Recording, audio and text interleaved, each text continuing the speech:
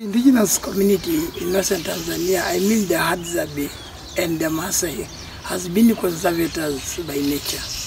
In many years, this community has, has, has been practicing a good, great role to manage the environment and the wildlife surrounding them.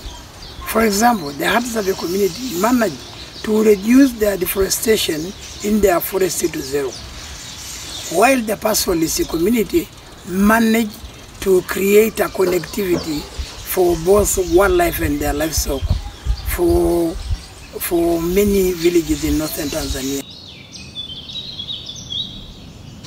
Uh, promoting community natural resource benefit could be a good idea to make sure that the communities are able to, to receive benefit from the resources that they are surrounding them.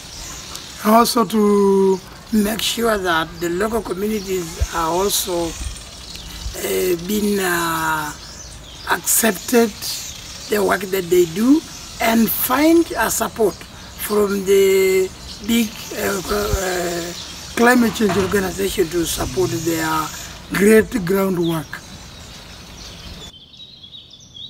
So goes directly to the communities who have been affected most the, with the climate change.